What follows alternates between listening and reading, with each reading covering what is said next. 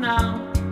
If I'm not feeling any less sad, I promise myself to treat myself and visit a nearby tower.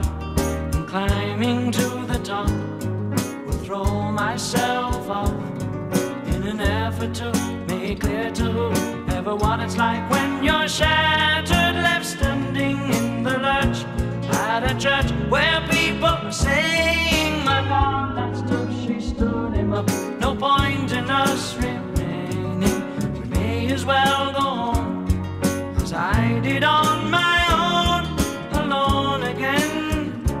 Naturally, to think that only yesterday.